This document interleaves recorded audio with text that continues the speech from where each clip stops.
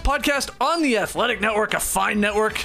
It's Thursday, March 14th, 2024. I'm J.E. Skeets here in the Classic Factory, and alongside me, as always, Tas Melas. Podcast listeners, this is for you. Next to him, it's the bearded one, my top shot hot boy, Trey Kirby. Hey, yo. Hey yo! And last but not least, over yonder, making the magic happen all week long, it's Eshua Kid. How y'all doing? What's Hey. up, Esh? Doing great. Shout out to the stream team joining us live right now on YouTube. Hit that like button and subscribe.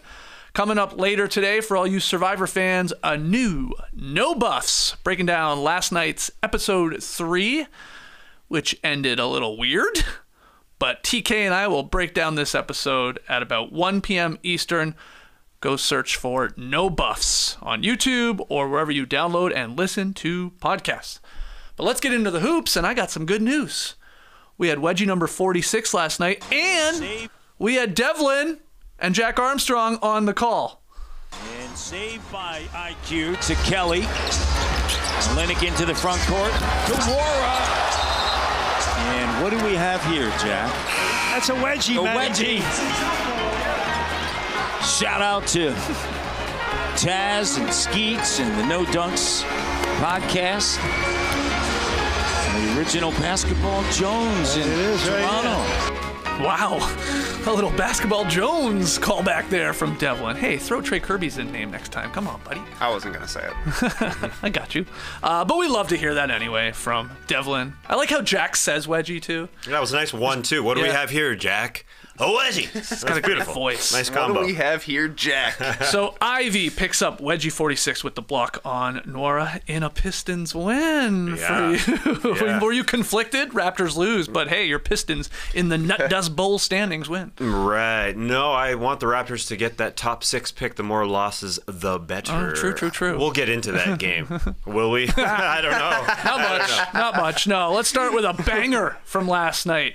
With his team, DeMar DeRozan's 46 points lead the Bulls past the Pacers in overtime. Hell of a shot from DeRozan at the end of regulation. The baseline play fading with like two seconds to go splashes it to get the Bulls into overtime, and then he was pretty damn good in that uh, extra period. he was great in overtime as well. I let out a yes when he hit the jumper on the baseline. A great play and a great game. I gave it five stars on boxscore.com. Okay. Nine ties, 19 lead changes in the fourth quarter, five ties and 10 lead changes. Big shots on both sides. I thought it was going to be over when Miles Turner hit back to back threes. First one tied the game up. Next possession, hit another one to put him up three with 55 seconds left.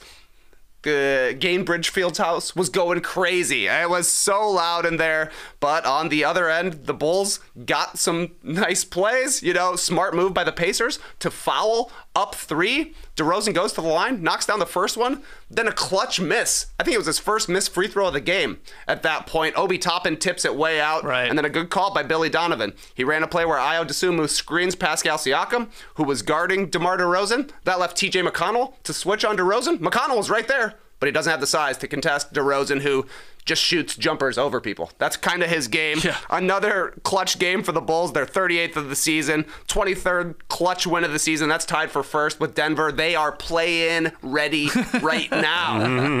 what a game. I mean, this was very entertaining. some yeah. huge shots, some huge defensive plays. You know, the, the Siakam chase down block, Yeah. and then he flips on his back and lands on Coby White. Hopefully, he's okay. Obviously, he had to leave the game, but some uh, just entertaining basketball in this one. Yeah, the game story could have been Pascal Siakam's block there. The chase down block. It wasn't quite an Anthony Edwards chase down block where he hit his head on the rim, but it was a chase down block with 10 seconds left where they were up one. Then they go hit two free throws. Then the eternal question.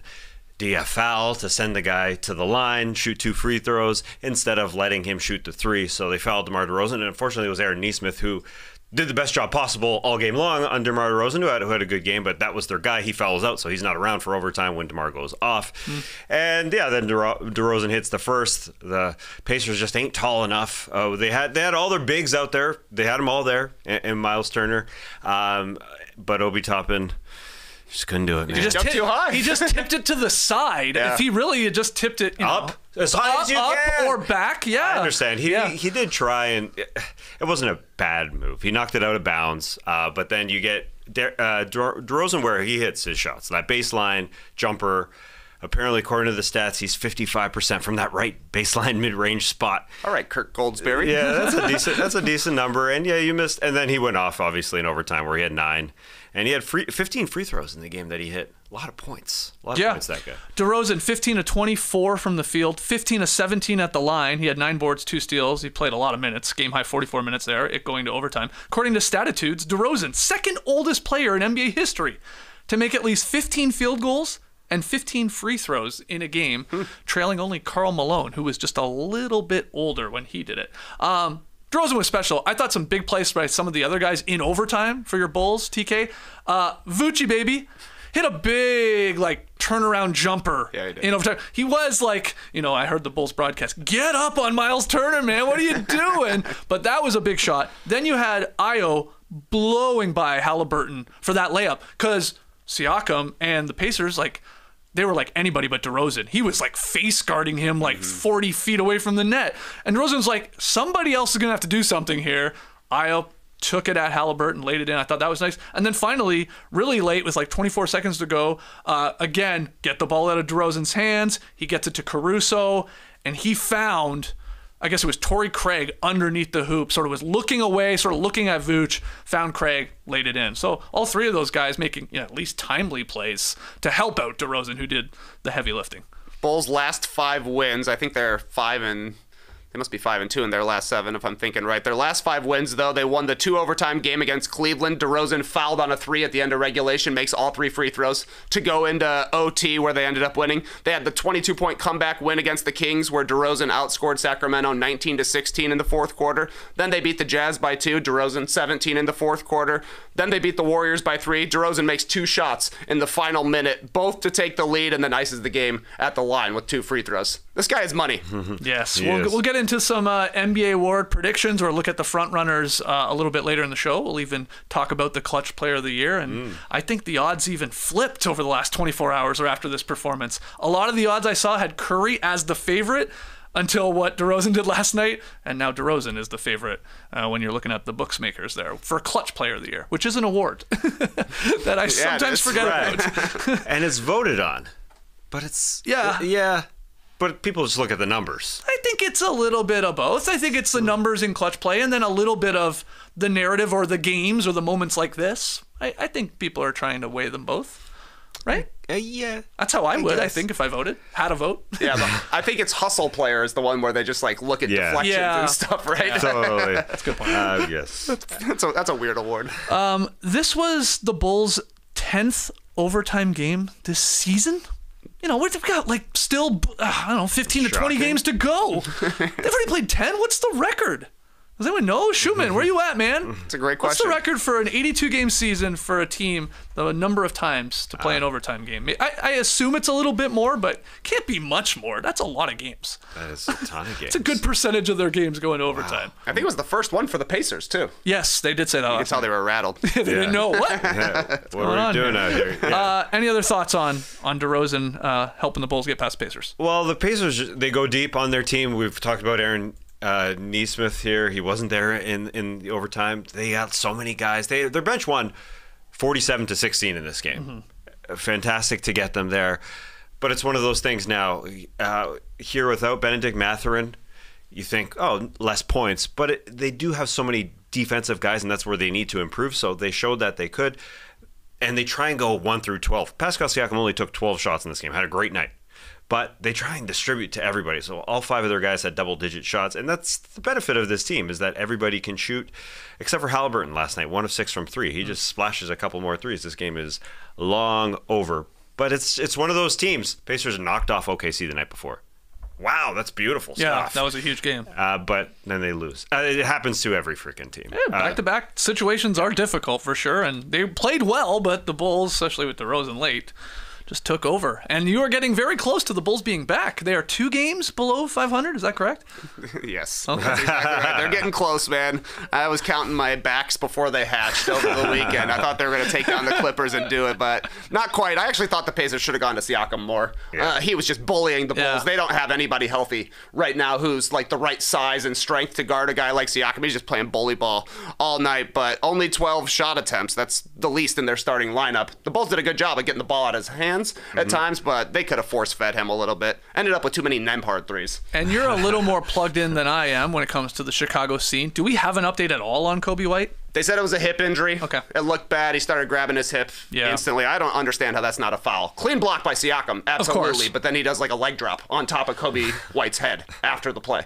And right, so you think? I mean, we we get all up in arms about a guy stepping under a guy on a jump shot, and they'll call Can't that a get your foot foul. near him. It's a but you think the flip here, if somebody falls on you, should also be uh, a foul. Do you have an opinion on that? I, I see what you're saying, but it's also, I mean, Siakam is also like air. It's amazing he didn't get hurt. I don't know how Oh, he yeah. just that guy's just rubber. Yeah. He just bounced back up, no problem. But It was like uh, the Anthony Edwards where he was chasing back. It was a, a real chase down block, and when you're doing that, you're gonna hit the guy, and that happens. And I think the refs are just looking at it like, "Wow, that's so fun!" Few seconds left in a basketball game where a guy comes back and chases you down for a beautiful block, so they don't call it.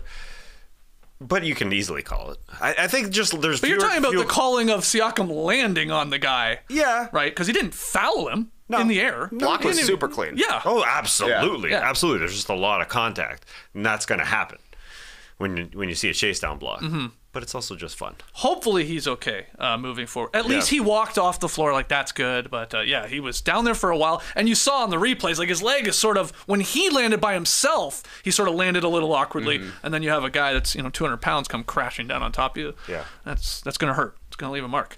Uh, moving on, Donovan Mitchell returned to the Cavaliers. Uh, they were on fire from three.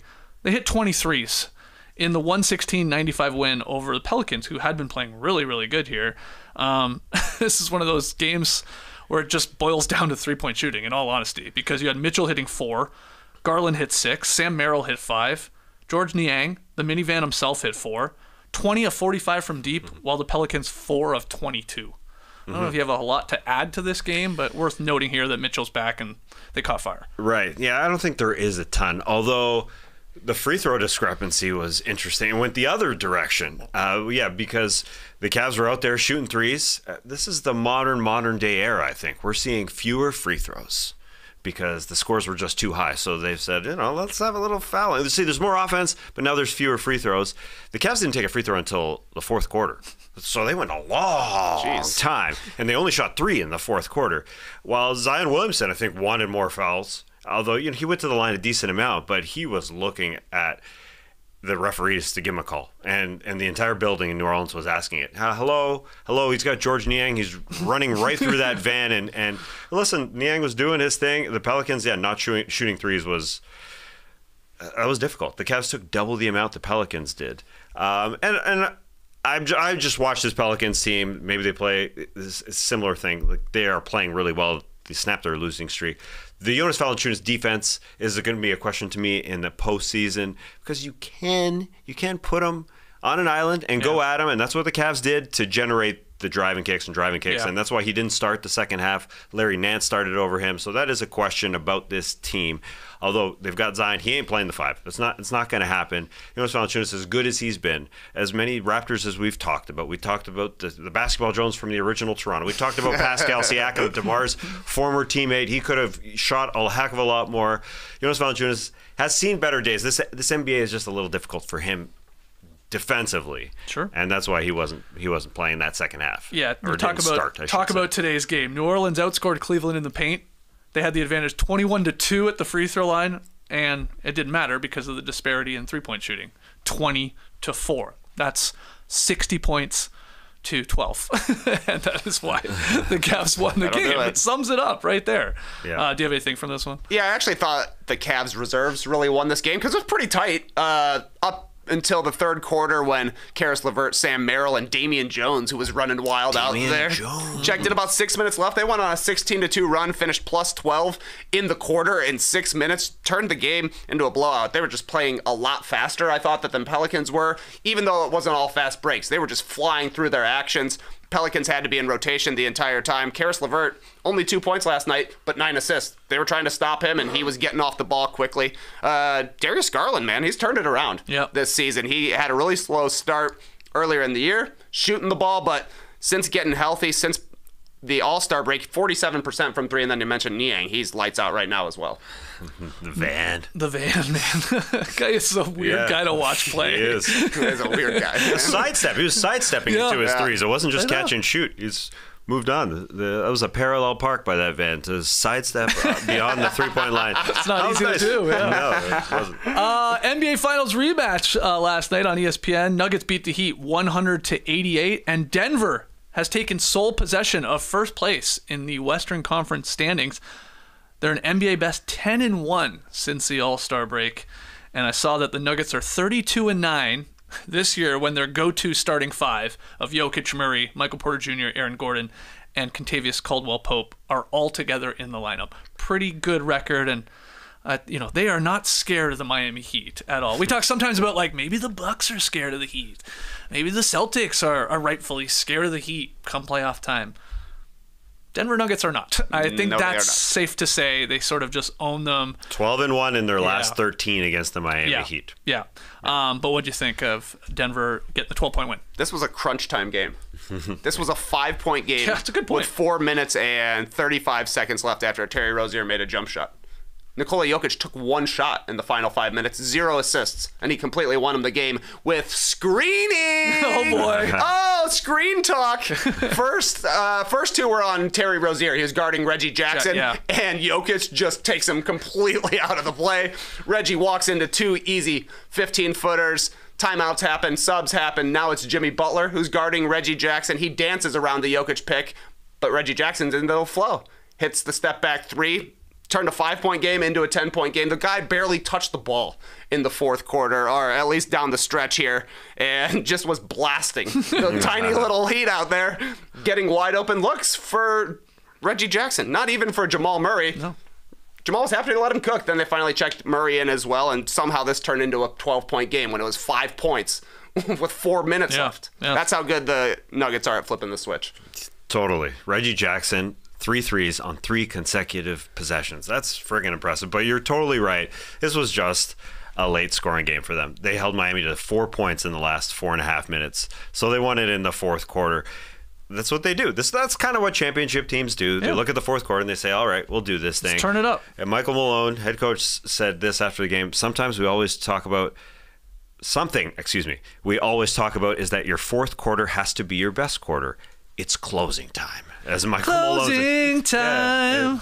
Yeah. Get the guitar. Nick Nurse is like, hold on.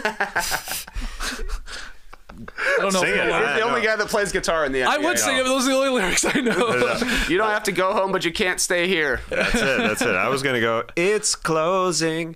It's closing time. It's not a song. What? That's it's business time. that's business time. Yeah, but that's where I go. Oh, Wednesday is the night. Yeah. So, yeah, it's true. Getting back to Jack Armstrong, always sings that song. that Yeah, you, that's you right. just sang. But we always talk about Jokic. We talk about Murray, and then Gordon. Those are the first three Nuggets we talk about, and then we KCP might be the fourth. Nah, maybe it might be Michael Porter Jr. But that guy contributes. They have so many guys who contribute. He had five threes last night. He's on fire since the All Star break. Shout out to uh, ESPN's Cassidy Hubbarth for bringing this up on the broadcast. Uh, he's averaging over 20 points per game since they came back from the break. Michael Porter Jr. is shooting 55% from the field, 43% from deep, and 93% at the line. He doesn't get there a ton, but I think he's 16 of 18 at the line since they've come back. That's huge. Wow. They got another 20 point per game score. We've Yeah. seen him have these moments in these stretches for sure, but that's those are unreal efficient numbers there from all three facets. Uh, so he's got it going. He's a big reason why they are barely lost here since they came back, and they had their eyes on that number one seed when the texts started flying around. That's right. Yeah. Sending those texts. Don't get me anything for my birthday. All I want is the one seed. And then he blasts his teammates, saying they ain't give me anything for didn't my me anything. birthday. Well, they got it. It was a late birthday gift. They're number one seed now. Yeah, we'll Just get you the one while. seed. We'll get you the one seed. I also thought uh, the Aaron Gordon small ball five. We've seen it a lot of times, but you know the Nuggets try to stay away from it during the regular season. Zeke Nnaji got some run in the first half to save Aaron Gordon's legs, and then the reserves plus Aaron Gordon at small ball five, like they were completely cooking. Uh, I thought in this one. Yeah, that was the question coming into the season. Do they have enough guys? And Peyton Watson looks great. He's a great defender, had a monster uh, dunk in this game. To give them the first seed alone for Yep. the first time in four months. Yeah. They haven't been up there since frickin' middle of November, and here they are. Don't go to the White House. That gets you the first seat, I guess. I mean, I don't know. Uh, moving on, Sabonis, another triple double for this guy as the Kings beat the Lakers 120 to 107. They swept the Lakers for only their second time in franchise history. So took all four games versus LA in pretty dominant fashion here. Your thoughts, TK? Domantas Sabonis is 10 and 0 against Anthony Davis career. I saw this too. and I was surprised. I was like, surprised. "Whoa." I mean, like, I'm guessing some of those Pacers and Pelicans teams were evenly matched. The Lakers have won a title, you know, with Anthony Davis. You would assume that Yeah. they are uh, ahead of the Kings, but Sabonis, he's not afraid of Anthony When he Davis. plays, and when he plays, just because I looked it up, four of those games were when Sabonis was on the Thunder. That's a long. That's time a long time He's, ago. oh, he was only on the floor with Anthony Davis when he was a Pacer just once, and then five were with the Kings. There you go. So Weird so- stuff. Got But, his but he has been rolling. He has been rolling. Obviously, you know the last five games with the Kings, and this year a sweep. 17 points, 19 boards, and 10 assists. And the physicality he brings to Davis, that's a place where you can maybe exploit Anthony Davis sometimes if you're able to just get your shoulder into him, and push him around. There was that play, I guess it was probably in the third quarter, uh, where he just sizes up AD, spins, spins, somehow knocks him down with a spin move and finishes over top of him as well. It's impressive stuff. And then it's kind of weird because I feel like Davis can't handle Sabonis' physicality the whole time. Mm-hmm. And on the perimeter, the Lakers can't stick with the Kings' speed. So it's kind of like a, a Fox and Ox situation Yeah. out there for him. And that's why the Kings seem to have the Lakers' number right now. Big shooting nights too from Keegan Murray who hit five threes and then Harrison Barnes who hit seven. So those guys contributing 12 three pointers for Sacramento. And you know the Lakers like got back in this game and it felt like every time they did it was one of those two guys, especially Harrison Barnes who had like a timely three to sort of give them a little bit of breathing room and uh, they went on to win pretty handily. The Kings, man, fascinating team. They have an incredible record. I know the Lakers are not near the top of the Western Conference, but they have a good record against the good teams in the West. They're going to be playing, in theory, a good team in a play-in situation, or maybe even in the playoffs if they can stay in that top six. Um, I'm just fascinated to see if they can get their first playoff series win in a very, very, very long time. Yeah, the Kings get ready for the good teams. That is totally true. And I think the Lakers are good enough in that category for them to look at and say, all right, we're going to play. Yeah. We're going to do this. It's similar to what we saw with the Pelicans last night. You get good performances from time to time. And I thought Keon Ellis starting for Kevin Huerter was good for them. He's been uh, a guy, 24 year old, undrafted, who plays hard defensively, might take Davion Mitchell's minutes at times, but he was great, hitting multiple threes. They were Yeah. just spacing the floor against them. That's kind of where this game was won, uh, partly uh, because they were quick, as Trey said, five more threes than the Lakers. That hurt. And D'Angelo Russell, you know, he said he was a killer a couple weeks ago. I'm a killer. That's what I do. He was killed in this one. Yeah, he bad D'Lo Yes, he game. was. Six points, two and nine shooting, only one three, uh, two turnovers to six assists. Yeah, not a good D'Lo game. He was due for a real bad stinker, unfortunately for him. Uh, one other game I really want to uh, break down here with you guys. Luka's scored 21, but his triple double streak ended at seven as the Mavs got past the Warriors, 109 to 99. So a few things. First off, the Warriors need Steph Curry desperately to come back. They've dropped five of their last six this season without him. Kerr said before the game Curry should join the team in Los Angeles, and the coach was hopeful that Curry might play in Saturday's game against the Lakers. That's a nationally televised game. That's a big game when you're looking at the standings there uh, in the play-in spots right now. So they need him. I mean, that's that's a no-brainer. Uh, Chris Paul, did you guys see Chris Paul give the referee a tech after he got a tech? That was a first for me. It was amazing. Chris Paul arguing about the no call, sort of at the end of a shot clock there. He's like, what the heck? I got hit. He gets teed up for arguing. And so while PJ Washington is like going like this, like crazy with the tech, Chris Paul just very calmly gives a tech back to the referee. that was it. What a guy, man. I mean, I guess you can get away with that when you've played as long as Chris Paul and you've been the president of the players union and stuff like that. Just a weird. It looked funny because we had three people basically giving the tech signal, all within like a, a five second span. I guess it wasn't Scott Foster. It wasn't Scott. That would have been great. No, I forget. I forget good. the name of this official. He would've teed him up It for wasn't. sure. It wasn't Scott. He would have been kicked out. You're right. But then Chris Paul would have kicked him out. Oh, interesting. we need a best Chris Paul referee moments pack put together because there was that time. Like, Yep. who did he notice that had their jersey untucked? Oh, And right, got a right. technical Yeah. foul for knowing the jersey rules. Uh, that's got to make the list. This would make the list. Funny stuff. There's got to be numerous Oh, man, examples yeah. of him, yeah, officiating a game. Uh, I said Luka's triple double. His run ended at seven games. He only played 30 minutes due to a tender left hamstring. That's something to watch. Jason Kidd said he wasn't sure if Luka would make the trip to OKC. They play tonight. That's a, a back-to-back situation for Dallas. That is also a nationally televised game. That one's on TNT. So my gut would say Luka sits this one out, but keep your eye on that. Obviously, they need him moving forward. But you know, he sort of came back in for a second. He's like, nope, nope. Didn't matter in the end because they got the win, but that always sucks. And then finally, Daniel Gafford made all five baskets last night to push his streak to 33 field goals made in a row. Those dreamy eyes staring down Wilt Chamberlain for the best run of consecutive made baskets in NBA history. Gafford just two away from tying that all time mark. It's wild when you do the little deep dive into shot selection for Daniel Gafford. 17 of Gafford's 33 straight buckets have been dunks, including all five last night uh, in the win. 31 of them have come with at least one foot inside the restricted area. So we're talking basically all dunks and layups. Uh, of those, maybe uh, three or four have been contested with someone even near him. Uh, he is not a jump shooter. In fact, when you look at the numbers, 366 of his 376 attempts have come from inside the paint this season. And most of those within like the four foot little restricted area. He's only taken 69 shots this entire season that weren't a layup or dunk. Hmm. I mean, this is all this guy does. Hey, do what you're good at, right? Play to so, your strengths. CBS Sports informed me that Gafford is on track to own the NBA's all-time mark for career field goal percentage.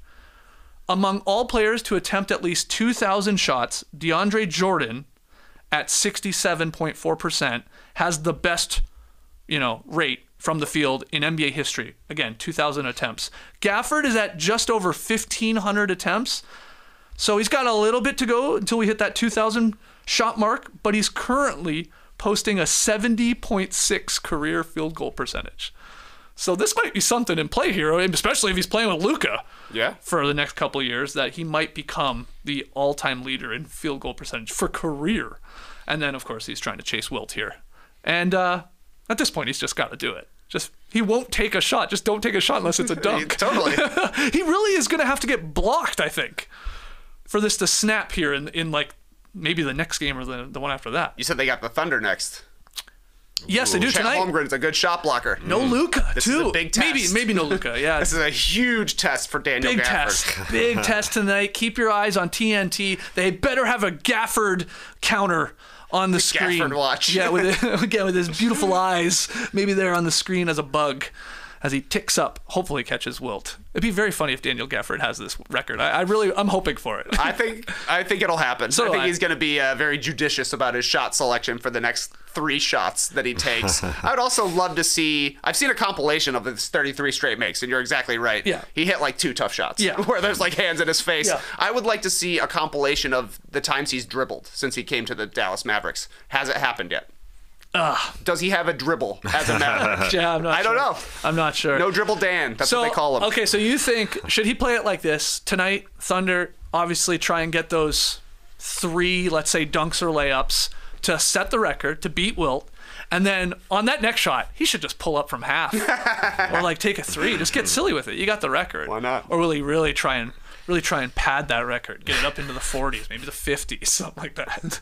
Can't wait to see how he tackles this. Yeah, I can't believe looking at the stats that he is the all-time leader right now. Right now at 71%. I just just didn't didn't compute to me. I just I didn't know. think of it. And next, Jakob Poeltl at 65.6%. That's a pretty big gap. Yeah. uh, considering Percentage-wise. Yeah, considering there's lots of guys who don't shoot. Rudy Gobert is fourth. So that's uh, there's lots of guys who just keep it in the restricted area. I can't believe that you know the fact. That fact is interesting that he's had one foot in the restricted area for a lot of these shots. The stats are out there. Yeah. CBS Sports helping me out this morning with that. Uh, the other games, we had Micic, the Rook, scoring a career best 25. Hornets beat the Grizzlies 110 98. Paolo Banchero, 21. Led the Magic over the Nets, 114 106. Anfernee Simons and DeAndre Ayton, who's on a heater right now. Uh, he had 33. Portland beat the Hawks 106 102, despite DeJounte Murray with a big game. And then Jalen Duren, career high 23 rebounds That's a lot of roast beef. as the Pistons beat the Raps 113 104 for their third win in four and a big win in the Nut Dust Bowl standings, Tas taking the lead back from me and my Wizards. Uh, any thoughts on any of those games? Well, Jalen Duren, 24 and 23 for a 20 year old, triple 20s. That's uh, impressive stuff uh, for them. One, two in a row for the third time this season, but three and four, that's the first time they've done that all season long. So they're winning basketball games. DeAndre Ayton, he's a March man. This is when he turns it on. Totally. He's a March man. Yeah, I think so. It doesn't matter. Let me get those stats. Let me He's a get it. March Let man. me Yeah, kill he's like I think this is like three games in a row that he's put up some monster numbers. He's going to be winning somebody uh, a fantasy championship here Hmm. as you get into the to the home stretch and maybe even I don't know when the postseason starts for some of these leagues. Doesn't kill you on free throws.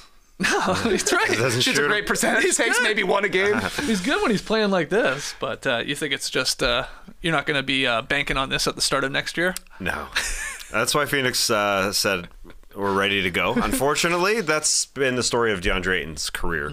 Hasn't jived with many people. Um, and jived with some, but I guess he didn't get it along with Monty Williams all that much. Anyways, we are here in this year six of DeAndre Ayton's career. I mean, he's a talented guy. He signed that monster deal, but uh, can't be a number one guy until March. Then you can just give him the ball. Just go for it, man. Yeah, since coming back from uh, a little injury there, he's had games of 30 and 19, 22 and 15, and then last night 33 and 19. He's killing it. He's hooping. This was against the Raptors, the Celtics, and the Hawks, and two of those in wins for Portland too. So it's actually helping him out there. Yeah, Chris Paul. Chris Paul was just on a podcast. I want him on another podcast where he's asked about his relationship with DeAndre Ayton. Hmm. Did you like him? Did you hate him? Tell me why you hated me the him. truth. Yeah.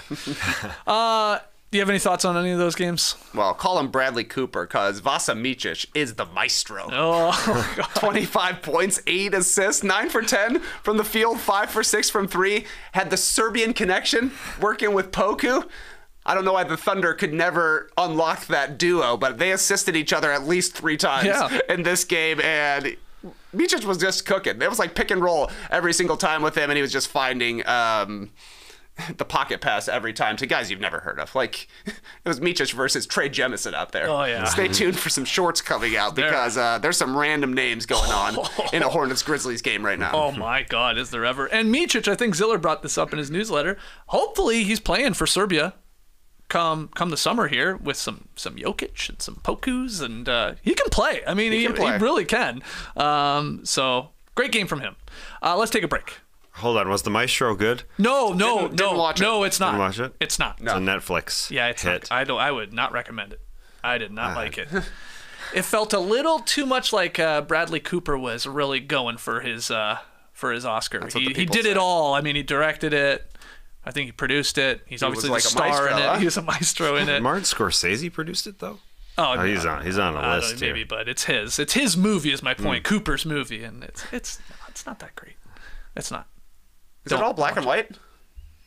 Uh, Or is it just can't remember. screenshots I've seen? No, yeah, it's there's some black and white. I don't think the whole okay. thing was. No, Nice. I think there's a little color in it.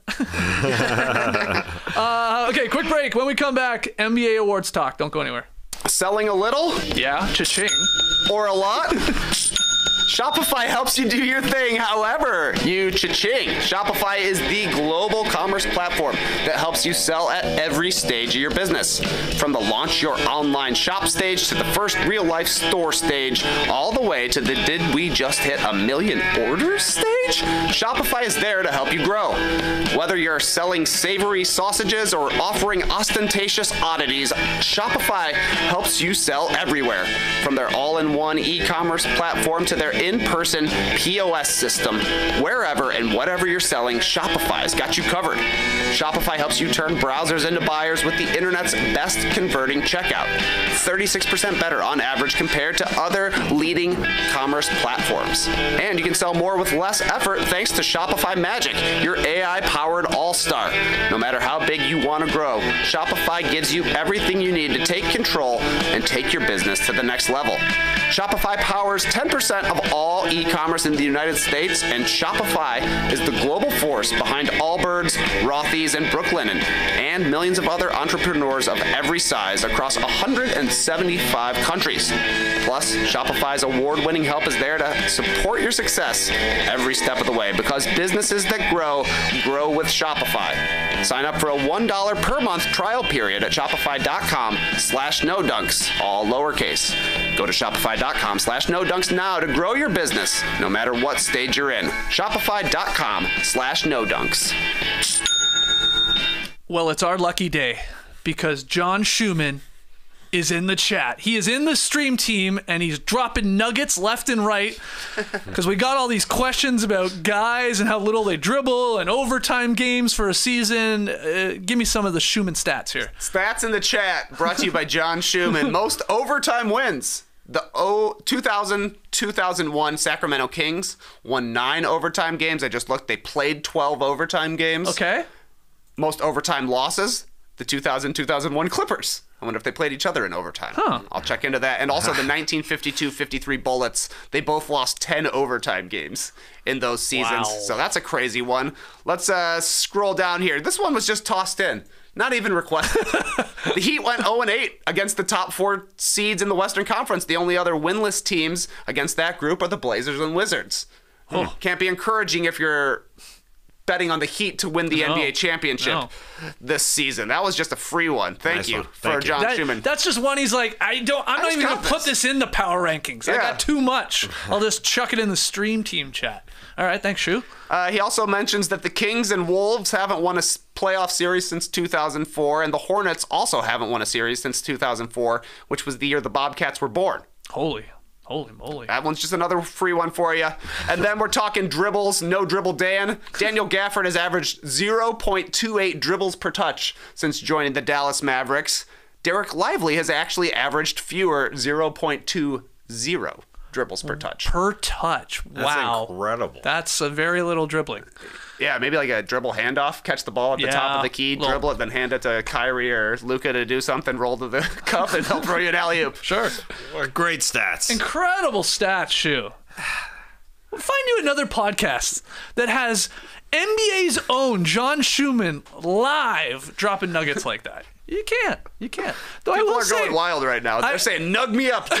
I will say I watched uh, just randomly uh, flipping through the guide last night. Um, there was early games on, and then I was waiting for some Survivor, and I saw on ESPN News the Zach Lowe podcast. It's on TV. hey, Yeah, it was uh, him and Pelton. You know, it's just their podcast, but just uh, you know put into television form. Every media company is doing that I know, these days. I Yeah, you guys record a podcast? The put it on our television. They're doing it. So Schuhmann recorded a pod with Sarah Kustok, I do believe, recently, if I'm not mistaken. Yeah, they totally usually wrong. Yeah, they usually do. Yeah, um, not on TV though. No, sorry, you can't put Schuhmann on TV. Oh my god. Kidding, Shu. oh, uh, that Dereck Lively mark, by the way, lowest dribbles per touch in the league. Wow. Guess who that one came from? Shu. That one's from Schuhmann. That one is from Schuhmann. Point two. So Pierre every, Publico says, "Shoe ought to know." Shu, Jack says, Shu, "Shoe putting on a masterclass." You ought to know. Now that sounds like a television segment right Yeah. there. Shoe ought to know. Oh man. Uh, we got a C block with your name on it, John. Oh, this is great. Uh, let's get into some NBA awards, the odds, the predictions. Uh, we have fewer than 20 games to play, which is, you know, maybe a little shocking to some. But here's where all of the current NBA awards races stand. I feel in going through this that like maybe four, if not five of these are already wrapped up. But I'm interested to hear your guys' takes and everybody joining us live on YouTube or listening to the podcast later. So we'll move through these with some pace because we've talked about them a lot. But the MVP right now, Jokic is still the favorite, uh, minus 275. Then we have SGA plus 400 and Luka coming up with plus 800. Trey, I know where you stand on this. You believe Jokic is what 99% gonna win his third MVP here in four years? Is that too high? Does SGA like could the Thunder get the number one seed, and would that be enough to sway some people? What do you think? Well, I don't think Jokic will be unanimous by Okay. any means, but he was the leader in the NBA in the MVP straw poll that Tim Bontemps does over at ESPN. He was the leader most recently, but though I think he said at the time that if you're the leader in that one, you don't win usually. True, true. But then we saw Jokic have a massive game against the Celtics in a big spot. So that to me is when he won it. It's like a Heisman Trophy moment that people always talk about. But Shai definitely has a case, especially at the Thunder do end with the one seed Yeah. ironically enough, like he will be ahead of Jokic in a lot of advanced stats, which is usually where Jokic has made his hay uh, in some of these MVP votes. Uh, but I think that Jokic is kind of widely recognized as the best player in the league right now. And the Nuggets have turned it on in the back half of the season here. Jokic putting up great numbers as well, and the Nuggets are winning a bunch of games, and his defense has been pretty solid as well. So I think it's going to be Jokic. three and four years. It sure feels like that's going to happen here in March, which is odd because la- earlier on, before Jokic went on this run, we were all, we and everybody out there was giving it to Shai, was giving it to, uh, you know, maybe, maybe a little, little Luka. Giannis was in there, but now it's it's become locked. So it is it all doesn't really matter in January, is what I'm saying. Although it's fun to talk about. I remember talking to the great Dikembe Mutombo on our show. It was the starters. He was on in early January. We asked him, "Is LeBron going to win the uh, the MVP?" It was 2018. He didn't want to answer that. He said, "It's too early, man." Basically, is what he said. It's too early. He's right. He's right. It, it was a little too early, but now it's. It feels like even with a month left, which kind of goes with, with what I'm arguing here that it's too early. Doesn't feel like it's too early for Nikola Jokic. Feels like he's got it at this point. Do you think, I don't know, the Thunder just go on a crazy run here to end and win the West by a handful of games? Would that be enough to persuade people to vote for him? I mean, be deserving, would he not? If they had the number one seed with Yeah. his stats, let's you know throw in another SGA uh, game winner or two. Like I'm with you. It feels like it's like maybe not 99% locked up, but it feels like it's like 90% gonna go to Jokic. But I Mm-hmm. think there's a small, small chance that SGA could get it. You're right. Unlikely as it is. You're right. Yeah. And his defense is freaking great. Yeah, And I think yeah. people people don't include that in his conversation. Um, Jokic is good too. There's no doubt. But Shai is awesome uh, on both ends. Rookie of the year, uh, the odds favor Wembanyama. I couldn't believe by how much though. I can't believe that. I I thought it was a typo. I was like, where am I? This is Looks wrong. like a joke. Okay, Wembanyama for Rookie of the Year, who I mean, I've been saying for a very long time he is going to win this and is deserving of it, but minus ten thousand. then Chet Holmgren, who's having an incredible Rookie of the Year, would win it most other years. He's plus twenty five hundred, and then Brandon Miller. They just got to put a third name on the list. He's plus fifty thousand. Don't vote on him. Fifty thousand. Yeah. Those are some wild odds. So, yeah, okay. So, you guys, it sounds like you were just as shocked that, yeah, as much as we think Wembanyama is going to get this, it's a, it's a little glaring, the difference in odds, is it not? Yeah, you literally have to put down ten thousand dollars to win a hundred Don't do that. if you want to bet on Victor Wembanyama. You literally have to put on put down ten thousand dollars to win just one hundred dollars. I, I would never do that. I'd be more inclined to put down hundred dollars to win fifty thousand for Brandon Miller. But there ain't no way. I wouldn't way. do that either. Yeah. No, there ain't no way you're gonna win. Yeah. Uh, you know, you could, you'd probably be, I guess, smarter if you're gambling to put it on Chet Holmgren. I mean, these are more. This is more gambling line than actual guys who are going to win for sure. You know, it has l- less to do with the voting and more ha- has more to do with the dollar dollar bills and who where people are putting money. Yeah. But but it definitely feels like Wembanyama is going to win this thing. But like the uh, the odds. Holmgren bet, not bad, not a bad one. yeah, yeah. The odds exploded. It felt like in, in favor of Wembanyama even more when they had that last matchup, and they both put up good numbers. But Wemby sort of got the best of them. Had that crazy block on him. You know, um, that helped his case. He's going to win. I'm I'm curious to see does Chet get or how many first place votes he gets. I think he will. I think. I think so. I think people will be like, you know, look at the numbers are are similar, and he's on a better team than Wembanyama, and maybe they are the number one seed or whatever, top three, whatever. So he might get a few, but Wembanyama, Trey is your is your pick, I assume, to win this overall. Yeah, I mean, why, might as well bet on him. You're gonna win.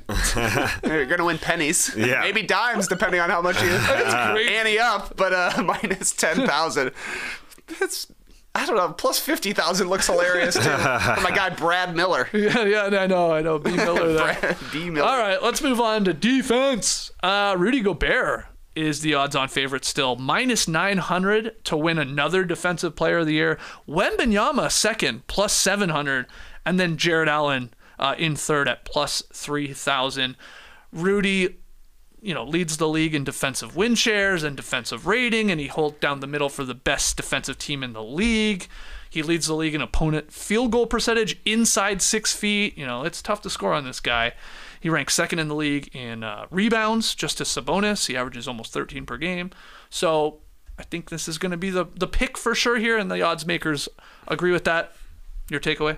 Yeah, I think it's smart that they put Wemby in here at plus 700. More likely to get action on that than a minus 10,000 because I don't think Wembanyama is going to win it, but he's leading the league in shot blocking and he might actually be the best defensive player in the league, but his team's defense is pretty poor, so there's no chance he really has of winning it. Though I do think he will get some votes, and I think Gobert is the right choice because of the way that the Timberwolves have had the top defense in the league basically the entire season because of Rudy Gobert, and that's one of the main reasons they're so high in the Western Yeah. Conference. I think he is a deserving choice. Yeah, it just took us like one year later. We thought this was going to be the case last year with Rudy Gobert when he went to Minnesota, and then mm. it wasn't, and Yeah. they weren't that you know elite defensively, but they obviously are this year, and you think they'll win it. They got the narrative, that's for sure, and that helps when voting for the defensive player. Although defensive win shares and all that matters, it is the most difficult award to assess by stats, mm-hmm. IMO. But Gobert's awesome. That is totally clear, and he says that, or he thinks that there's some fixing within the gambling. So I wonder if he uh, bets on himself here. Oh, well, he geez, says, better not. Yeah, why not? You're gonna win. Why not? I don't think it's legal. It's probably not legal, but he knows somebody. Like when he complains that a referee doesn't do it, or the referee or, ref, or referees could be putting money in. He knows that somebody could be giving a referee money. Some, he could bet it through through his friend. Intermediaries. huh? Yeah, yeah, yeah. If he, middleman. if he or when he, I guess, Rudy Gobert wins his fourth Defensive Player of the Year, that joins rare company. Dikembe and Ben Wallace, the only other two guys to have four of uh, those trophies. Dwight has three, uh, which Rudy obviously has right now. He won in 18, 19, 21, and then Rudy could possibly win here in 23, 24 season. Wow, it's pretty crazy. And like, who's to say? I mean, Wembanyama. The good thing about him being second, it's like with Defensive Player of the Year, it is always like it's like a year or two late. So you got to get on these lists. And that really helps his chances maybe next year, Wembanyama, to win it if the Spurs are better and their team defense is better, and obviously his stats are similar. But man, Rudy, like he might have, uh, I don't know, I guess he could have another. Why wouldn't he have another, possibly one or two in him to mm-hmm. break the tie if he goes on to win this Yeah. fourth one with Dikembe and Ben Wallace? You're right, though. It'd have to happen quickly had to- because yes. Wembanyama will start winning them pretty soon. Like, if the Spurs somehow finish top 15 in defense and Wemby is playing the way he did Yeah. this season, he would probably win it. Yeah, Rudy has changed since last year. It just in terms of guarding space. Look at the teams that go up against the Timberwolves and the way they shoot threes and the, watching that guy come out. I mean, he's he's just way more nimble. But Wemby's coming for him, that's for sure. Sixth man of the year, Malik Monk is the favorite, minus 350. At least this one's a little closer, though. Norman Powell, plus 450. And Naz Reid, drop your Naz Reid in the chat, plus 1100. But it feels like Malik Monk's last couple of weeks maybe reinforced his chances to win his first sixth man of the year. He's obviously been on that list before, but he is the leader among backups in clutch scoring average. Interesting. So I think Monk. I have been saying this one for a long time, especially around January. I thought the odds were really good then. I think they were like plus 800 for him, and I think he's sort of taken this over as some of these other names have slid a little bit or haven't maybe. You know, Tim Hardaway Jr. was in discussion for a while. Bobby Portis's name, Caris LeVert, you've brought up Trey. Um, Jordan Clarkson has monster games sometimes off the bench, but I think Monk. I think he's deserving too. I, you know, I've said before, in the clutch sort of stats back it up. His points, just for whatever reason, in games feel a little bit more significant at times to me. But thoughts on six man? I'm definitely good with Monk. I'm definitely kind of good with Norman Powell, to be honest. Uh, he's he's awesome. Uh, he was up there in voting last year. He was fourth, and Monk was fifth. Surprisingly, I, Yeah. to- I totally skipped my mind. Uh, but both those guys extremely deserving, and both have played in a ton of games here, 63 and 64 respectively. Does that factor into voting? I guess not, but it showed a little bit uh, if you play that many games and all on the bench primarily. basically every single game that Malik Monk has played has come off the bench. It isn't one of those weird situations where you start a bunch of games. Well, like Naz Reid right now is getting more more opportunity with the Karl Anthony Towns injury, Mm-hmm. and sometimes you know it can goose numbers and stuff like that. But uh, yeah, Monk is a he is a certified six man. So is Powell. I think he only started one game. yeah. Um, Naz only has one start as well. uh, does he? Okay, uh, yeah. But That's he why I caught myself. I was going to say he's getting more starts, but I, they're actually not starting him. And he had a great game Yeah.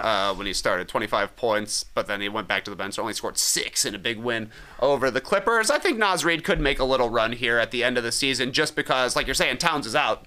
So it wouldn't be surprising to see Reid in the closing lineup with the Timberwolves, and he's got a fun game to watch as well. He plays like a guard, even though he's their four slash five. Yeah, it feels like one of the first awards we've talked about that it's still like could be decided. I think Monk will win, but yeah, you're right. Powell, Reid, maybe one of those other guys. Uh, those first three awards we talked about. I mean, it feels like it's going to be Jokic, Wemby, and Gobert winning their respective awards. This next one though might still be open. Uh, most improved. Tyrese Maxey is still the favorite. Last I checked, minus 145. Coby White though, right behind him, plus 110. And then J Dub, Jalen Williams on the Thunder, um, plus 3,000. So it's a two man race, TK.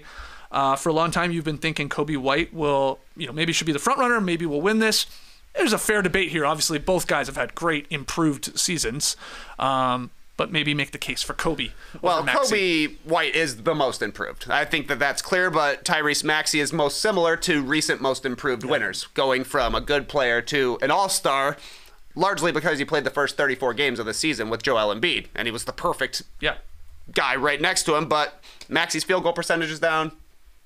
Three point percentage is down. I mean, he's scoring a little bit more because he's taking more shots, but Coby White's percentages, all of them are up. He's scoring 10 points more per game this season, and he looks like a real player now rather than maybe a bench guard. So Yeah. uh, to me, he is the most improved guy. Uh, Maxey, a little bit of an Embiid merchant, but I love Maxey as well, so I don't really want to diss him too hard here. But I think Coby White would have won this award in 2014. You. Oh, back in the day. Yeah, back when the most improved player won rather than the best player who improved as well. True. Maxey has seen his odds get considerably worse over the last couple of weeks. Um, you know, he was again, he's down to minus 145. It was like minus 550, so he was really the favorite. Uh, he missed four or seven games in March because of the concussion. Sixers have stumbled in the standings. His his numbers are great. 26, 6 and 4. He never turns the ball over for a lead guard. But Coby White is up to like basically averaging 20, 5 and 4, hitting 39% of his his three pointers. Those are all career bests. And Trey, like you said, it's like he's proven, he's shown. He's like, oh, this guy is a this guy's an NBA starter.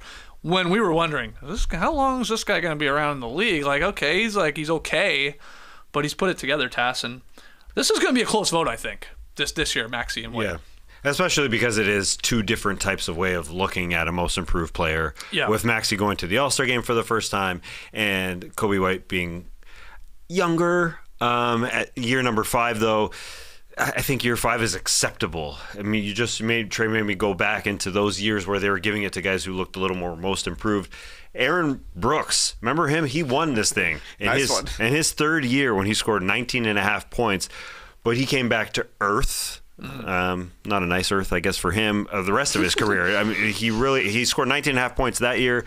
There wasn't another year where he scored 12 or more in his you know fairly long career, 11 year career. So, um, Coby White, I do think is different than Aaron Brooks. He's going to be good uh, for a long time in this league, so it, it is different. It's two different types of, of thinking. And Jonathan Kuminga also fits this different type of thinking. He is younger, uh, earlier in his career, uh, but it has gotten a lot better, and so he'll, he's going to get some votes. He'll get well. on some ballots for sure. Yeah. Uh, next one, Coach of the Year. Here are your uh, front runners, according to the odds makers. Uh, OKC's Daigneault. All right, he is your favorite, minus 300. You got the Celtics, Joe Mazzulla at plus 450, and then the Timberwolves, Finch at plus 500. Bloody good coach, that Finch. Um, okay. Oh, and, and maybe there's another coach that you want in the mix here, but this one, this one is, uh, I don't think wrapped up by any means, but maybe I'm wrong. You think Daigneault's going to win for OKC? Probably. Okay. Uh, I would say probably just because Thunder expectations were pretty high this season, but I think they've still exceeded those expectations. They're obviously younger and they're dealing with a new piece in Chet Holmgren coming in as a starter, as a five, buying into it and looking awesome. Whereas the Celtics. Also, I think Joe Mazzulla has a really good case, but we expected the Celtics to be good. Everybody expected them to finish first in the Eastern Conference. They've got great continuity, though things have changed for them as well. Bringing in Jrue Holiday, bringing in Kristaps Porzingis, who has been in and out of the lineup this season.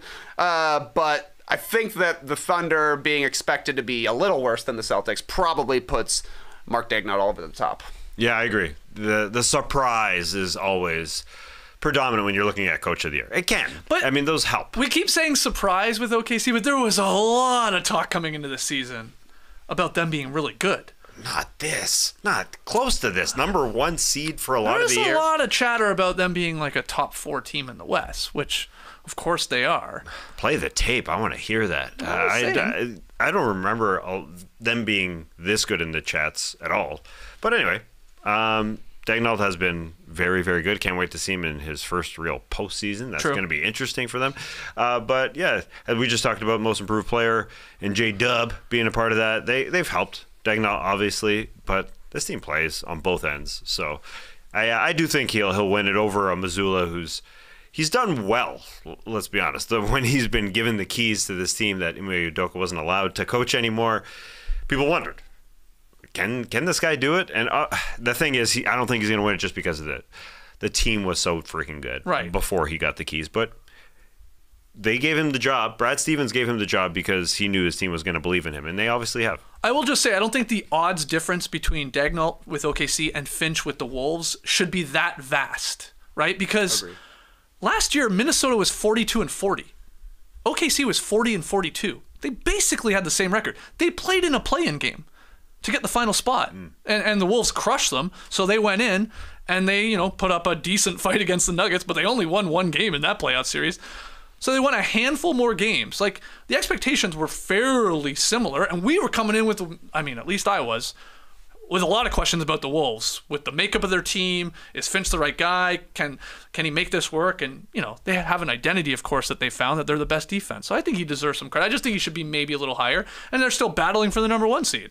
And if they actually get it, you know, without Karl Anthony Towns there over the final stretch, that'd be pretty impressive. So I just think the odds are a little odd. I think Daigneault will win, and it will be a great winner. And then the final one, uh, you know, it's great. We almost started the show with this, and we're ending with it. Clutch Player of the Year. I think the odds flipped last night because I, when I was making this uh, our, our show and this block last night, I, I saw Steph Curry as the favorite, but as of this morning, DeRozan now minus 165, Curry plus 170, and then Damian Lillard plus 1800. I think SGA and Jokic, you know, have some some um, long odds as well. But did DeRozan win it? Last night with that fadeaway jumper and big overtime performance, you bring up the clutch um, wins for the Bulls. He's a huge part of it. It feels like every game is because of him. Yeah, and Curry did nothing in the clutch last night for the Warriors. you know? Yeah. Well, DeRozan is second in clutch points per game and in total points. Curry is number Yeah. one. DeRozan shoots 52% in the clutch. Curry shoots 49%. But the big difference is that DeRozan is a plus 76 in 166 clutch minutes this season. Steph Curry a plus three in 122 minutes. So, I mean, DeRozan is being helped by the Bulls have a really solid defense uh, in clutch time, but his just like Malik Monk, his points are more important for the Bulls right now because they're actually coming out on top in a lot of these games. Yeah, I'm just looking at the voting from uh, last season, and De'Aaron Fox beat Jimmy Butler and DeMar DeRozan, who was third, who two years ago was the guy that people were looking at as the the spectacle, the guy who hit those back-to-back winners on New Year's Eve, and then New Year's Day he was awesome. Uh, so maybe he wins just because you know, give him an award that Oh, he, he almost sa- got. This is like a Robert Downey Jr. award here for him. Eh? Oh, a interesting. respect, a respect. You're, Yeah. He's been very good this year, but we're also taking into consideration your previous year's work. I, I'm with you. I think it's still up in the air. Like, of course, Steph Curry is in theory going to come back here. Could he have a couple huge, you know, clutch performances still left in his bag and some game winners? Yes. I mean, it's Steph. So I think this one's still a bit of a toss up, but DeRozan makes sense to be uh, uh, in the lead right now. And over the last over the last couple of years, DeRozan is on the short list every year for this because he just takes over, gets to his spot, he's money at the line when he gets there generally. Mm-hmm. um, so yeah, DeRozan is your favorite right now for clutch player of the year. But I thought that'd be fun to look at. And, and overall, just total points, he is second in clutch game points Yeah. just to Steph Steph. Curry. And then, yeah, third is way back with Damian Lillard. So thanks to John Schuhmann for putting that together because I'm on NBA.com. That's where it all happened. And that's where De'Aaron Fox uh, was awesome last year. Yeah, Um, fourth quarter Fox. 194 clutch points last year, and that's why he won the thing. Uh, all right, let's get to tweet of the night. Tweet of the night. Wow.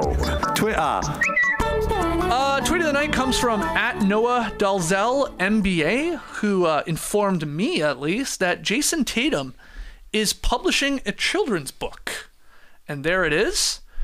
Tatum uh, wrote, I guess, along with a man named Sam Apple, um, Baby Dunks a Lot. so this book is coming out in August. I guess pre-order available now. He said on his Instagram post, and I guess Tatum also tweeted it, Deuce and I read together all the time. So this is something I've loved working on. And it just uh, reminded me, man, there's a lot of NBA players that have written children's books. He joins a long list. Uh, Steph Curry has at least two books that he's uh, written or helped write. I Am Extraordinary and I Have a Superpower are Curry's books. Chris Paul, I believe, also has two children's books Long Shot and Basketball Dreams. I think LeBron has a picture book called I Promise. Uh, Amar'e Stoudemire's dabbled in the children's literature, as is Ron Artest, as is Carmelo Anthony, and Dennis Rodman has a book called Dennis the Wild Bull. Which uh, have, have you guys read any of these uh, books, either yourself or to your kids? The None only uh, basketball kids book I remember having, I think, was called B is for Baller. Oh, the ones Like, like yeah, like A is for Alley-oop. Abdul Jabbar Oh, right, or or that. something Yeah, like yeah, that. yeah. Uh, I've definitely done that one. Um, and then I have read my kids Dennis Rodman's Bad as I Want to Be. that'd be a fun read. Yeah, It's an okay. interesting picture book, especially the back cover. Have you read any of these? Um, I've got to say I'm an offer on these ones. Okay. Uh, not no, not not a one. It wasn't really on my uh, my bookshelf uh, to read these, but uh, yeah, I think I think they're all it's something that they should all do. I, I agree. I mean, it f- sounds like there's money in this for first off. So, uh, Baby uh, you know, dunks a lot. um, baby dunks a lot. But we should write a children's book, something to do with the wedgie. I mean, it just feels and sounds like a like a, a a children's book, book. right, or a hmm. picture book of some sort. Hmm. Yeah, so a good call. let's start let's start writing that later today. Okay. I, I actually like the idea of that. The only other idea I ever had for a kid's book would be called "There's a Rumble in My Tumble," and the second line is "There's a toot in my boot." this is it's good. all about farting. Oh yeah. I mean, but I only could come up with two lines. well, we can come Short up book. with more. Yeah. I mean, definitely. Oh, definitely. I love those kids' book. It's just rhyme after rhyme Yeah, after rhyme. totally. We can do Yeah. it. Yeah. and there's I feel like there's got a lot of books about farts too, right? Yeah, Because farts are oh, funny. Yeah. Oh yeah. Yeah. And you got to make kids feel okay to embrace their To let it body rip. noises. Yeah, Yeah, yeah. exactly right. but man, that's actually a, a wedgie book is pretty smart because you can like tie in like everybody's different, just like a wedgie. Yeah. Every snowflake is different. Yeah, yeah. Mm. Okay, there's something, Something there. there. All right. Uh, you can pre-order that tomorrow. We'll have a link for you. uh, let's call it there. That was a fun show. Uh, if you're a Survivor fan, join us a little bit later in a few hours for No Buffs, our Survivor recap podcast, breaking down last night's episode. Just uh, hit that link in the show notes. It'll take you to the YouTube page. You can subscribe there or uh, search for No Buffs on Apple, Spotify, wherever you download and listen to pods. Uh, otherwise, we will see you tomorrow for the Drop podcast. Tomorrow's Friday. Felt like today was Friday. And it also agree. felt like yesterday was Friday, and I have a theory why. The time change, and it's really nice weather here right now. And there's something about good weather that makes me feel like it's the end of the week, Yeah. right? I think that's what's going only on. sunny on but anyways, Fridays. tomorrow's Friday. we'll be here 10 a.m. Eastern, uh, breaking down tonight's games. I also have a fun idea that I'm going to pitch these guys uh, a little bit later, so we'll get into rapid fire fun as well. So we'll see you tomorrow. Till then, Clipper Bros. You heard it here first. Have a great time. Turn up. Love you guys. Awesome. Thanks for joining us. And remember, Rudy Gobert said you shouldn't gamble, but listen to this. He didn't really say that, but he kind of said that. Anyway, listen to these potential lines. It's all about Ben Simmons. Will Ben Simmons retire before the start of the season? You can gamble on that. Will Ben Simmons play game one of next se- season? Just period. Yeah. Will Ben Simmons be on the Nets roster next season? You can gam- gamble on anything. Don't gamble. Not on Ben Simmons. Well, you can say no. You can say you could say no. Yeah. That's probably the smarter bet. Brace the day, people.